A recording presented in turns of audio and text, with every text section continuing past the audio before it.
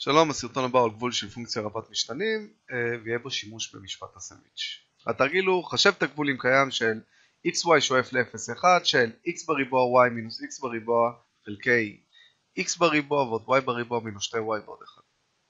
אז אני טוען שיש גבול ובוא נראה איך. כאשר, בוא ניקח קודם כל נפריד לשני מקרים. אחד כאשר x שווה 0, מה ש-x שווה 0 אני אפילו לא צריך להשתמש באיזה טכניקה מדהימה, זה פשוט שאני מציב 0 במונה יש לי 0, במחנה זה 0, נשאר לי y בריבוע מינוס 2y ועוד 1. אז זה 0 חלקי y בריבוע מינוס 2y ועוד 1. הביטוי הזה, 0 חלקי כל דבר, זה כמובן 0. עכשיו שאני אשיף את uh, xy ל-0,1, את 0 זה כמובן 0. אז כאשר x שווה 0, הגבול שלי הוא 0. אני אראה שגם כאשר x שונה מ-0, הגבול שלי כאשר אני מתקרב ל-0,1 הוא 0. ובאמת, כאן יהיה שימוש במשפט הסנדוויץ', והוא יהיה בצורה הבאה שהיא צורה קלאסית למשפט הזה. שימו את הפונקציה בערך מוחלט, בגלל שזה בערך מוחלט זה גדול שווה מ-0.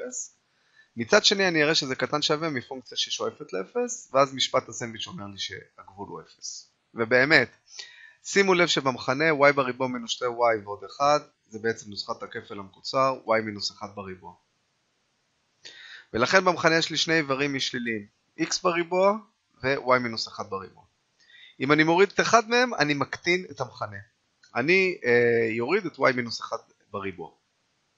באמת שאני מוריד אותו, אני מוריד בגלל ששני האיברים שלי הם משליליים, אם אני מוריד אותו אני מקטין את המחנה ולכן מגדיל את השבר.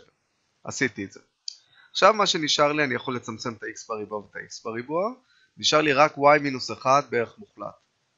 זה כאשר x שונה מ-0 ו-y שואף ל-1 ו-x שואף ל-0 זה כמובן שואף ל-0 כי כאשר y שואף ל-0 ש-y מינוס 1 זה כמובן 0 אז גיליתי שהביטוי שלי בערך מוחלט קטן שווה מפונקציה שהיא שואפת ל-0 מה שאומר שמצד אחד אני קטן שווה מ-0 מצד שני גדול שווה מ-0 ולכן מסנדוויץ' הגבול שלי זה 0 זהו, בכל מקרה הגענו למסקנה שהגבול הוא 0 ואנחנו סיימנו, בהצלחה